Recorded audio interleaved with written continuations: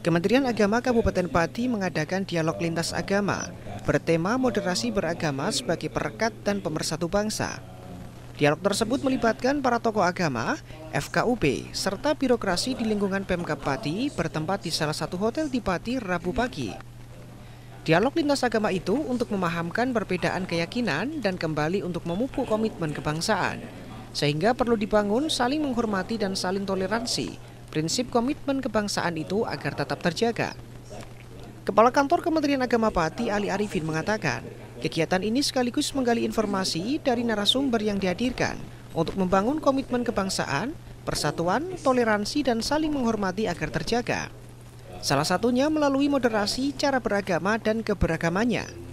Ya kita kan mempunyai tanggung jawab untuk merawat merawat komitmen kebangsaan itu sehingga kami perlu apa ya duduk bersama lintas agama gitu para tokoh kita undang.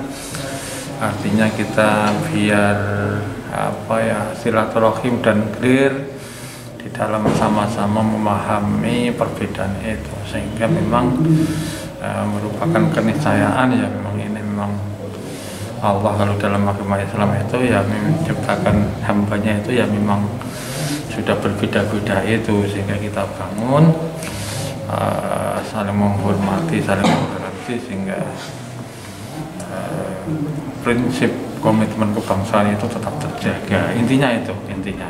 Ali menambahkan, harapannya ke depan dari kegiatan tersebut bisa ditularkan kepada kelompok masing-masing karena mereka yang hadir merupakan representasi dari kelompok yang diwakili, sehingga dapat terbangun kerukunan antar umat beragama yang solid termasuk dengan pemerintah.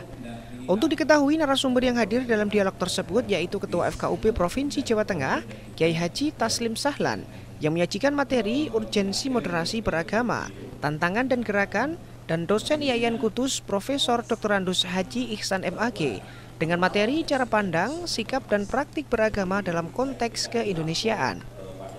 Tim Liputan, Cahaya TV.